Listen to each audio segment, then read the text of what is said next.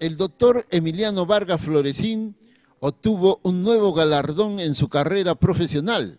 El 14 de septiembre logró el título de Magíster en Derecho Procesal Penal. Bueno, sí, lógicamente en la trayectoria de mi vida profesional, el día viernes 14 me acabo de graduar como Magíster en Derecho Procesal Penal, lo que le decimos este, comúnmente como maestro en el nuevo modelo del Código Procesal Penal. Bueno, yo creo que más bien este, es para demostrar con bastante sencillez y humildad, porque cada profesional que alcanza un peldaño, lógicamente es un galardón y es una muestra para los demás estudiantes. Por ejemplo, lo tengo a mi costado al señor Belita, que también está ya próximamente a terminar su carrera en Derecho, y motivarlos a ellos, porque siempre en el maestro busca que sus discípulos tengan que trascender y de repente en el futuro superarlos al maestro. Señaló que la tarea no es fácil, detallando cuáles son los pasos que sigue un profesional para lograr este reconocimiento. Sí, realmente el grado académico no se consigue fácil.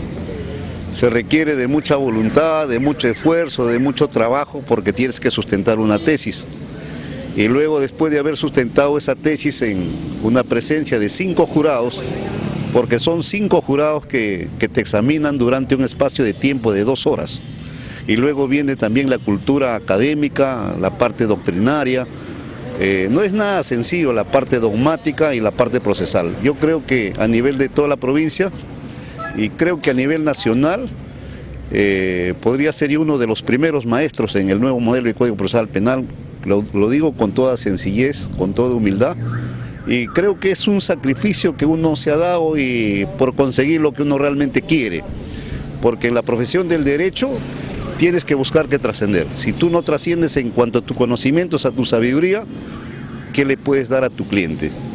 ¿No? Yo creo que en esa medida lo único que me queda de repente es este, decirles a mis colegas que apuesten por este nuevo modelo de cuello procesal penal que es eminentemente garantista, prácticamente la ejecución de nuestra constitución política del Estado.